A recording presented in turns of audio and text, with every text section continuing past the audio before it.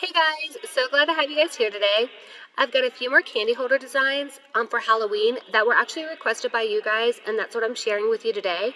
And I do have other Halloween candy holder designs as well, so if you guys want some different one than these ones, then you can check those out. And you can just scroll through my videos to find those. Um, but I'll also link to them in this video description to make it easy for you to find. And also in the video description, you're going to find a link to grab these free candy holder SVG files that I am using for today's tutorial, along with links to any of the products that I'm using as well in case that you, you want to check those out. So once you've got those files, go ahead and upload those to Cricut Design Space and then add those to your canvas. And I am adding all three of them. You may just be adding one of them um, but whichever ones you want to add, go ahead and add those. And I am zoomed out, that way you can guys can kind of see what I'm working with. So your files may look a little bit larger if you're not zoomed out.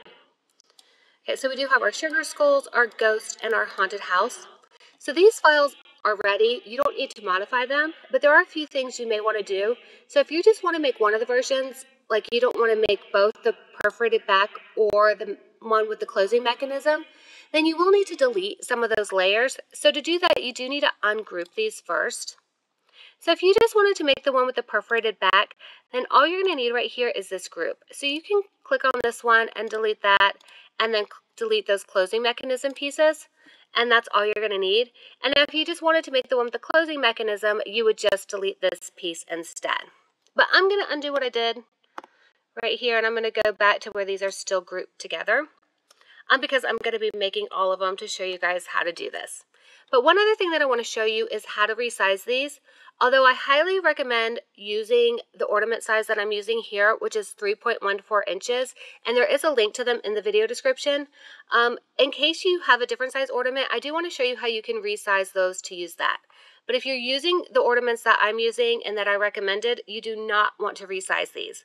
And I do not recommend going any smaller with this skull right here because it already has a lot of fine cuts. So it's just going to be a little bit difficult if you make it smaller, but it'll be fine to go smaller with the haunted house and the ghosts. So what you're going to do if you have a different size ornament is just measure the opening of that ornament and you want to get an exact measurement. So for example, say it's two and a half inches, you're just going to create a circle in Cricut Design Space and you're just going to resize that to the size of your opening, which is going to be two and a half by two and a half inches. And now just place this over the circle part. And you want to make sure these are grouped together because you want to resize everything together to keep those proportions. And then just click right here and continue to resize this. We can actually zoom in so you can see what I'm doing here. Until the, the circle is the same size as the circle in your design. So right here, they look like they are the same size. So once you have that resized to that size, then you can just delete this circle unless you need to use it to resize another one. Um, but I just wanted to show you guys how to do that. I'm just going to undo that because I want to cut them at the regular size. So really quickly, let me just undo all that. Okay. All right, so now we're going to go ahead and click on Make It. And if you keep all the same colors, they coordinate really well and it makes it easy to cut all of these together. So as you see, all the white go together on the white cardstock and all the black. Um, but if for some reason you have a different size cardstock, um, because this will work with the Cricut X, the Cricut Joy Xtra is what I believe it is, you can change this to letter size right here, and it's going to work with that as well. You're just going to have to cut on more sheets of paper. So I do recommend the 12 by 12 if you have an Explorer or a Maker, but if you have the Cricut Joy Xtra, then you can still make these. So these are just simple cuts. You're just cutting cardstock. So go ahead and cut those out. So once everything is cut out, before you glue anything down, I highly recommend lining up all of your pieces because you don't want to glue anything on backwards. And so all of the layers for each of the designs, they are going to add up perfectly. So make sure that you rotate them or flip them until they do. And I'm going to start with the Flying ghosts first. And so this candy holder only has three layers. So you're going to start by gluing the two bottom layers together first. So you're gluing that black layer on top of the white layer. And if you're using different colors, obviously this is going to be different, but this is how I have the colors in Design Space and how I'm using them in my designs just for reference. And then next you're going to take that top layer and you're going to flip it over so that the top of it is facing down on your workspace. And you're going to add your foam dots covering the bottom of this. And you can also cut like small strips of foam tape if you have foam tape and not foam dots on hand. So either one's going to work, but you do want to make sure that you apply the dots around the circle because this is what's going to help keep that ornament secure. And then place a couple around the edges so that it all is kind of the same level when you push it down. And then you're going to place your ornament on the bottom piece in that circle. And so it's going to fit right inside that little circle between where the two layers were glued together. And if you are making the version with a perforated back, then you need to make sure that you do add your candy to the ornament before this next step. Um, but if you're making the version with the closing mechanism, then you'll add the candy at the end. So once you have that ornament in place and the candy in there if you need it, you're to go ahead and add that top piece. So you're just pressing down to attach the foam dots to attach that top layer to the bottom layer. And this should be a tight fit. Um, so just slowly press down and you don't need to press down too hard. You do want that dimension in between it because that's what holds the ornament in place. And if you are making the version with the closing mechanism, there are going to be a few extra steps, and I'm going to show you those steps as we assemble the Haunted House candy holder next. Okay, so with the Haunted House candy holder, it does have four layers. So you're going to layer these in this order with the black layer on the bottom, then the green, then the purple, and then that top black layer on top. And these are going to line up perfectly, so make sure that you line those up first and flip any pieces if needed so they all line up perfectly before you glue anything down. And you're going to start by gluing the two bottom pieces together. So you're going to glue that green on top of that black layer. And then you're going to put that aside and you're going to glue the two top pieces together. So you're gluing that black layer right on top of that purple layer. And then you're going to add your ghost. So you can either glue these to the front of your haunted house, but I like to glue them on the inside so that you can see them through the windows. So to do this, you're just gluing those ghosts to the purple layer and you're just kind of gluing them in the window openings. And so I'm just adding a tiny bit of glue to like the little top and sides of the ghost. So you don't need a whole lot of glue for this. And obviously you don't want it on the middle of the ghost if that part's going through the window. Um, and if you are doing the closing mechanism version, then you do want to assemble this part before you attach the layers together and add that candy dome.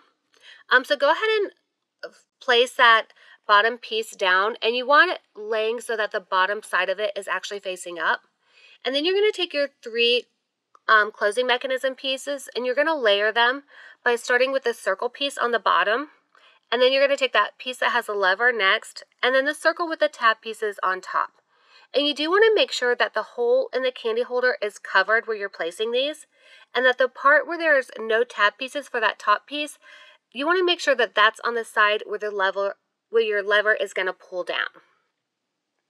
And with these three pieces still in this order, go ahead and flip them over and place them on your work surface.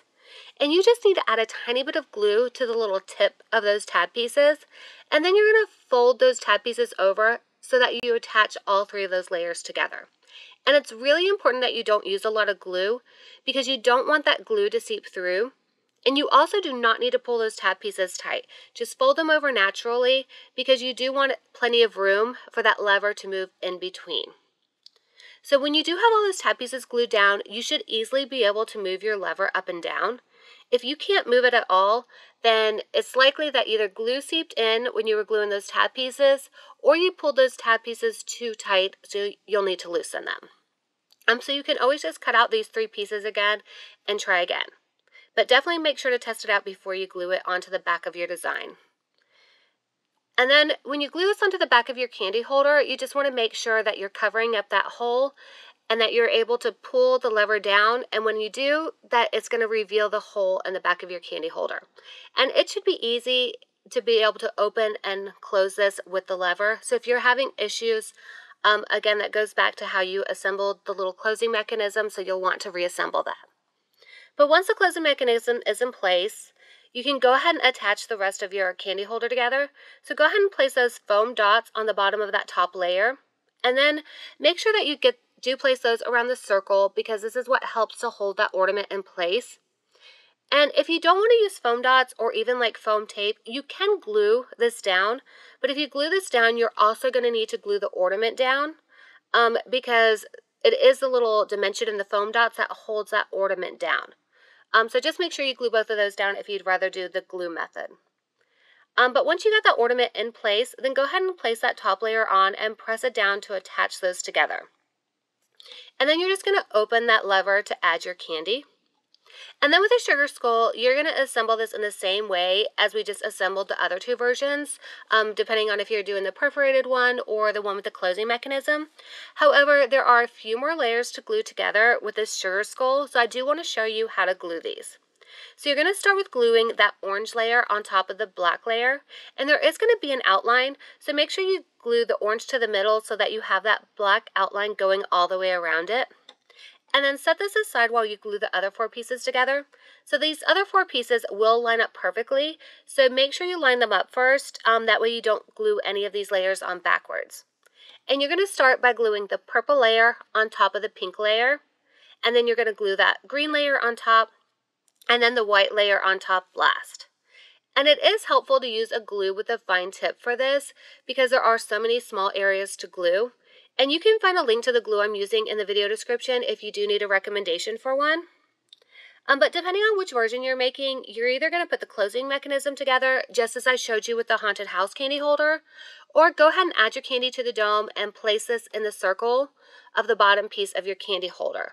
And then once you've got all of those in place, go ahead and add your foam dots and attach that top layer to the bottom layer. And just remember, if you are doing the perforated version, always add your candy before you attach it together. But if you're making the one with the closing mechanism, then you can wait and add the candy at the end. It's actually a lot easier to add it at the end, so make sure you wait. Um, but I hope that you guys like these new designs. And if you guys have any questions on how to make these, then you can leave those in the comments and I will answer them there for you guys. But before you go, make sure to give this video a like and feel free to say hi in the comments as well because I love hearing from you guys and thank you guys so much for watching. Bye!